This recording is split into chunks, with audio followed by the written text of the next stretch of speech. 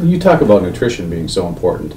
When someone is going through some of those traditional treatments, it's hard to eat. People don't want to do that. How do you introduce good nutrition into somebody who's who's struggling with just eating anything? It is a challenge. So, you know, we, we currently have some patients that that just can't eat anything. So, but there's different liquid diets and, you know, green drinks and different things like that that you can get them to drink.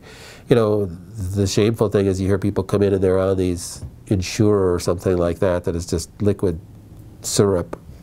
And uh, that's not beneficial. So we can make some changes there. It is difficult. There are some nutritional things that can help with the nausea and such that can get them to be able to want to eat again. So that's another thing that we, we can help them with too.